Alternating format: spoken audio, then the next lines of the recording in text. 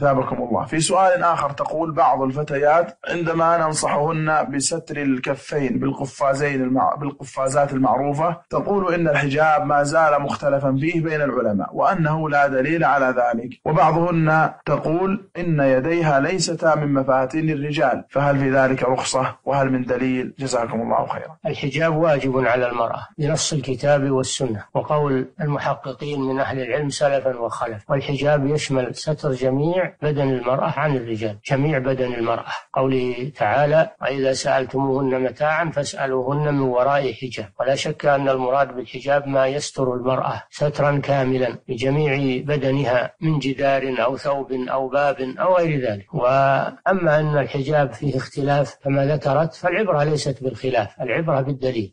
وقد قام الدليل على وجوب ستر جميع بدن المرأة بما في ذلك الوجه والكفان عن الرجال الذين ليسوا من المحارم. فإذا صح الدليل وجب الأخذ به وعدم النظر إلى ما خالفه من أقوال أهل العلم. نعم.